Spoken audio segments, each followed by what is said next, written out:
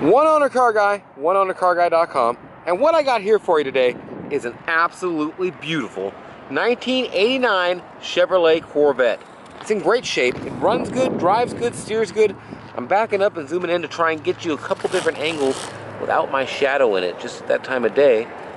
And freehanding this here camera with shadows. I, am just, I'm working, I'm telling you, I'm working. This car's for sale. It's a good car. I drove it around a little bit and I always, always enjoy driving these little Corvettes.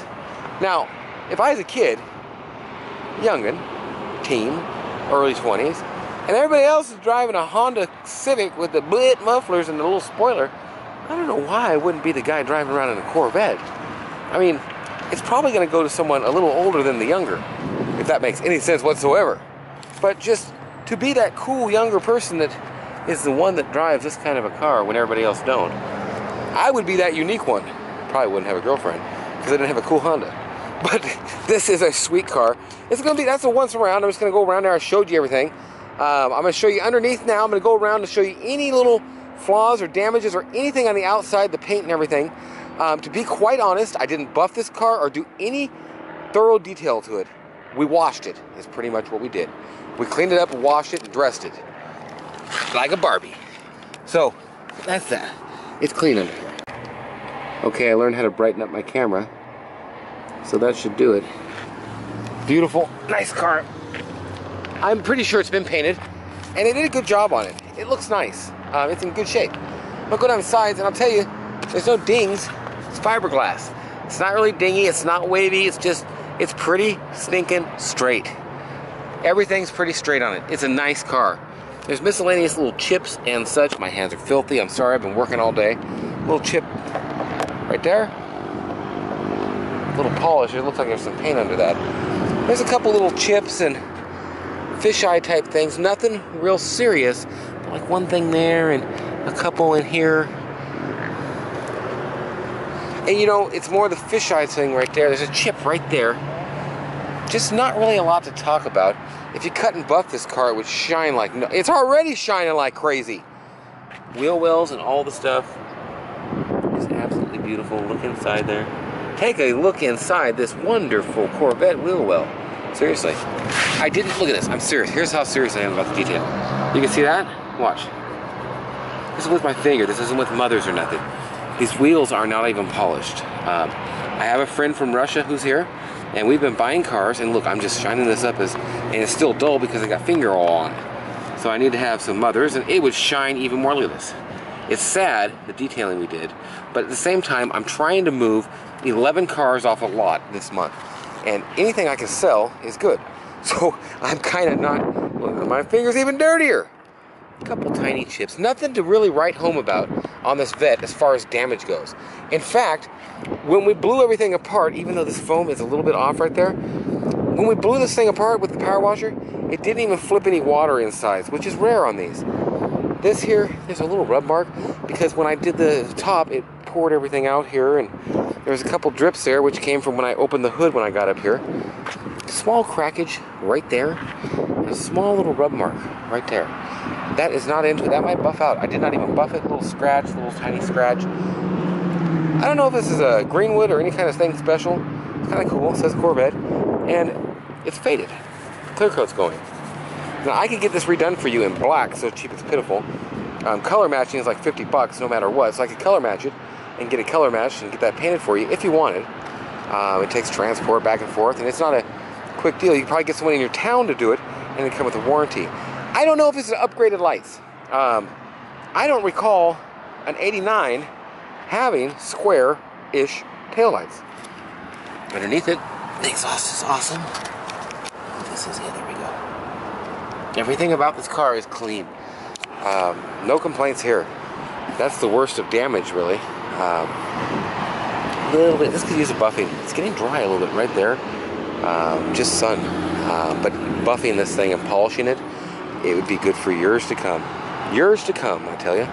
And that's what it is exactly. It needs some buffing on this. And I haven't done nothing. It's just here. And it's in absolutely gorgeous shape. Um, you just, this, it makes me so, so sad to know that. I mean, I just had to do these wheels a little bit more. And it pops back at you. It makes the picture look better. So I'm at a disadvantage is what I am. Um, all the seals and stuff are good. It's all in great shape. It's a nice car. It really is a nice car. Uh, I'm to keep going and showing. Um, glass, I don't see no big chips around there. Some sticker residue. No big chips or anything anywhere. Um, this could be sprayed black if you really wanted to. Um, I'm going to go down the side and show you. Across the hood's just absolutely gorgeous. It's a nice car. I really, really like these cars. Looks like there's a small crack starting right there. And underneath this piece of rock there, there's a gouge in it there. And same thing on the other side, it looks like. Um, but it's in good shape. They're mostly all busted. It's so clean. Clean car. So I'm gonna take a couple more pictures and such tonight. We're gonna do a quick test drive and drive you around the block. Um, see how the thing runs. I know how it runs. Piece of foam missing there. These pieces fall out and people rip them. Um, they get halfway out and someone always comes along and picks at it. Just sucks. The tires are older, but they got a lot of tread. They're a Fuzion ZRI or ZR1. Um, plenty of tread. Well, this one here, let's say, what is that? 50% I'd say, 60? The fronts have even more. Little titty still on the side and everything. Yeah, the fronts have like 70%. A little bit of dry rot starting. Nothing too serious. Doesn't look like. There's a little gouge. Right there, there's a teeny bit starting in there. So they're older tires. Beautiful wheels. Everything about this car is just nice as can be. Small little scratchy gouge. Scratchy scratch there. Okay, I don't see anything special on this side. Even the little black seals between the body parts is there. Just in great shape. In great shape. Okay, well that's kind of walk around. Trying to think. Oh yeah, the hood. Um, I want to say ornament, but that's not correct. The hood emblem is missing. And that's that. On the windshield wipers, if you wanted to, you could spray them or something. In fact, if I'd have detailed them up, look at, as I'm telling you, it looks like that. And all I had to do is just go like that, a little rag, and it'll look spectacular. So, not a good detail on my part, but like I say, we are spinning through some cars, man. We are doing some cars right now. We're getting rid of them and detailing stuff. And right now, we're hitting the road.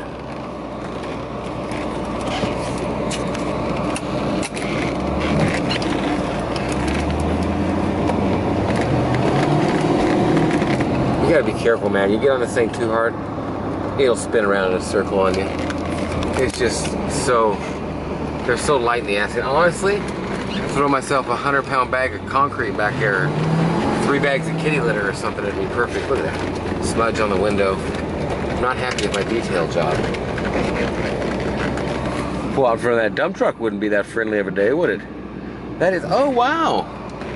It's a big semi. There goes the back end whipping. So it, it, it goes. The, the car, look at that, S-Cargo. Business solutions and security services for complex firm. They got the little holes to shoot at you.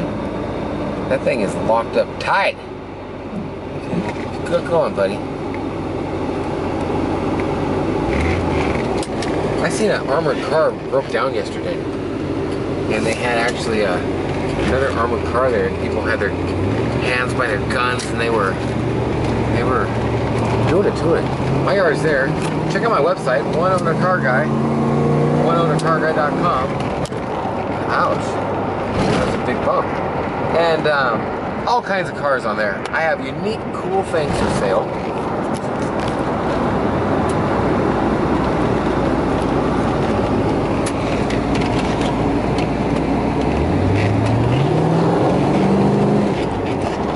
The car pulls, man. It drives so nice. Ooh, look at this. And this is destined, destined to become a classic.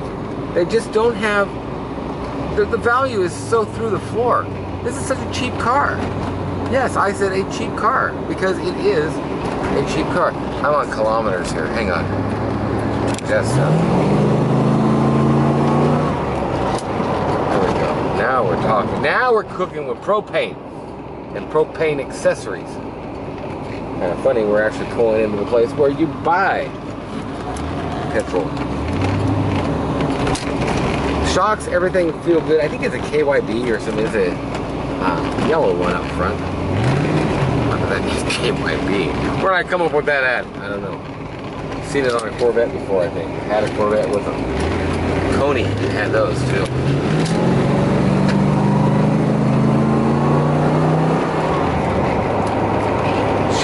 Nice, brakes nice, steers nice. The wheel's in great shape. This car is clean. And it's something that if you have in your garage and you drive all the time, it's going to be a great daily driver for cheap. If you drive it on the weekends and don't put a lot of miles on it, I mean, it's just going to be a great little cream puff investor car. There's a there's 119,000 miles on it. Like right there, you can get yourself in trouble if you laid on it wrong. So when you get it, just be careful, especially if you haven't driven this kind of a car. But I'm telling you what, I, I'd be driving this around versus a Honda Civic any day of the week. And I'll tell you what, you almost get the same kind of gas mileage. That is an honest to goodness fact. I'm gonna keep going. I'm gonna go up and park up here and I'm gonna show everybody the interior and do that deal. Um, call it good. And here we go. Man, this car is cheaper than that Air 4, man. It's cheaper than anything around you. And that's what's sad and sick and just gonna be a great investment car. That's what I sell a lot of cars. I, have sold close to 10,000 cars. I mean, come on, I've sold so many cars. But this one, since the Trans Am in the late 90s and early 2000s, I haven't seen anything so severely undervalued. Save a couple things. Right now, this is just one of the most undervalued cars out there. It's such a joy to drive for the money. So we're here. I'm gonna do a quick outro and show you it in a different light real quick. I'm gonna do a complete review of the interior and everything right now. Um, so if there's any questions on that, you'll find the interior re review on my channel. If There's like 12 or 15 minutes on this video left. That means you're watching the full one and I've combined them. So that's that. Thanks for watching. Have a great day. Now, you know what? People try to save money. Tesla. No gas. $85,000. Cheap! Thanks for watching. I mean, you don't. You could buy so much gas, you'd have to drive that Tesla two million miles to pay for it. You wouldn't even do it then. Thanks for watching. Have a great day or night, whatever it is, wherever you are. One.